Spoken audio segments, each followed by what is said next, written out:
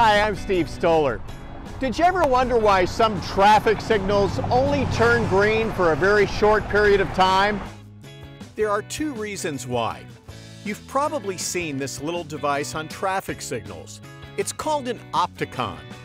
Emergency vehicles are equipped with a remote that triggers the Opticom to change the light.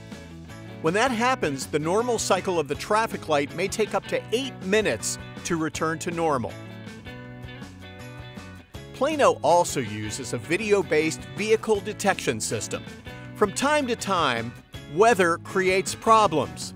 The cameras can be repositioned by heavy rain, wind, or hail, causing malfunctions that can impact the timing of our traffic signals. If you see one of these issues at a traffic light, contact the city either by phone, email, or the Fix It app. Our crews will work to resolve the problem as quickly as possible. See you soon for another Stoler on the Street.